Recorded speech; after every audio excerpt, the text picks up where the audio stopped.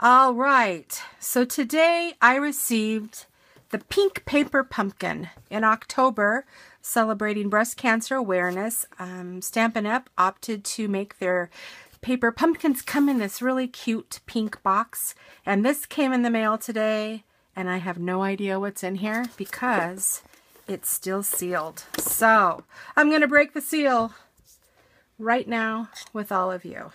And I'll even use my pink scissors. So I'm cutting the tape. And here we go. Da-dun-da-dun.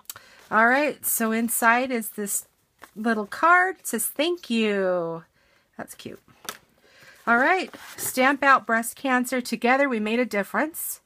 Because of you, it was possible for Stampin' Up! to make a sizable donation to the Breast Cancer Research Foundation. We donate $1 for every subscriber, plus an additional if you were new this month. So thank you. All right, let's see what it is.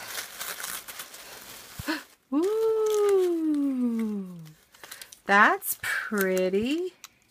So it looks like we have congrats, thanks, thinking of you, flowers, and leaves. I actually think this is very pretty. I like it. Okay. And we have, it looks like, the basic gray Stampin' Spot. And this is, okay, looks like this is the card that they are doing, the Blissful Bouquet. Oh, okay. So they've got these nice ideas. I do like the banner with the thanks, the congrats. I think the font is beautiful. I can see me using these. Probably make my own designs with them. Maybe do some coloring. That might be nice.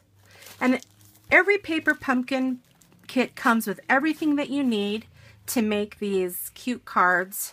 You'll always, you're always going to get a Stampin' Spot. And you're always going to get a stamp set of some kind.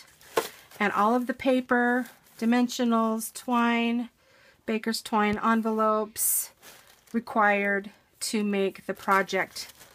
And it comes with instructions. And you can also go to a video online that'll show you more about how to make this project.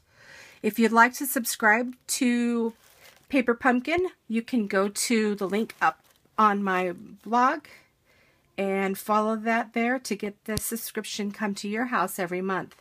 I'm excited. It's great. I just wanted to share it with you. Thank you all. Bye-bye.